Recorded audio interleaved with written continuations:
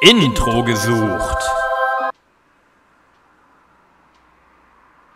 Hey Fred, ich hab Hunger. Auf in die Küche!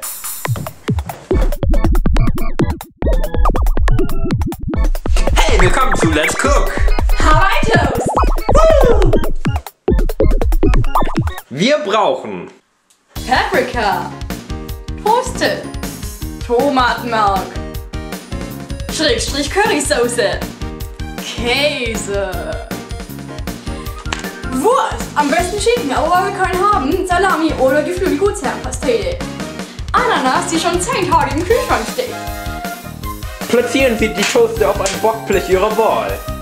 Platzieren Sie die Wurst auf den Toast Ihrer Wahl.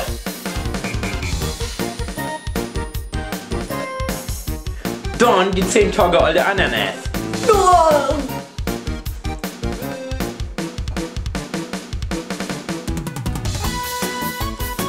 Dann kommt die Soße.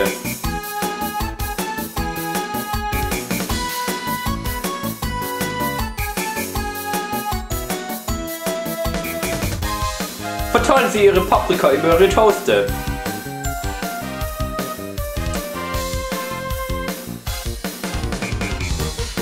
Dann kommt der Käse drauf.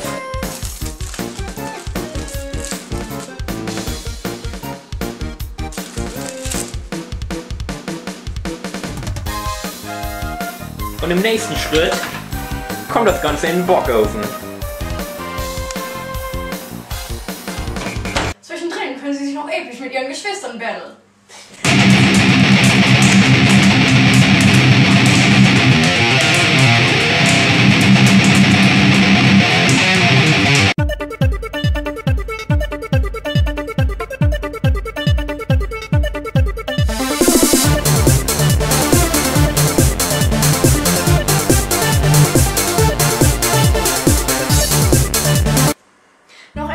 Bis 10 Minuten sind die Hawaii Toaste fertig. Wie sicherlich einigen aufgefallen ist, haben wir drei Toaste gemacht. Das hat einen ganz bestimmten Grund. Um sicherzugehen, dass die Toaste auch gut sind, setzt man sie vorher dem Kater oder dem Hund vor, damit die testen können, ob das in Ordnung ist. Dann kann man den Toast essen. Und schon wissen wir, dass der Toast gut ist. Dann noch einen guten Appetit. Nom nom nom nom nom.